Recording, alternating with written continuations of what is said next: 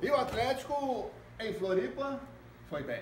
No esquema, fecha a casinha, contra-ataca, marca e segura a vitória. A gente vai falar sobre esse time do Thiago Lar. Exatamente. Vamos falar também sobre a volta do Cruzeiro depois da estreia com derrota na Libertadores. É derrota, mas não me sinto no espírito perdedor. Vamos, Cruzeiro. Tem um show de gols do Alteros Post já já.